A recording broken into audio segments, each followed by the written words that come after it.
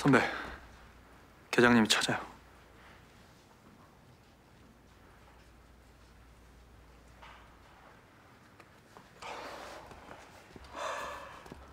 네, 다시 묻겠는데 김영수 네 눈으로 본 거 맞아?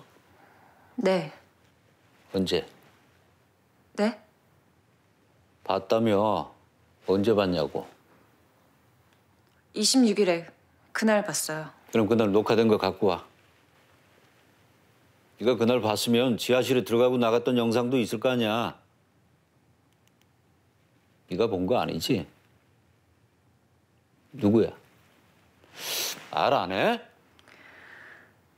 죄송해요.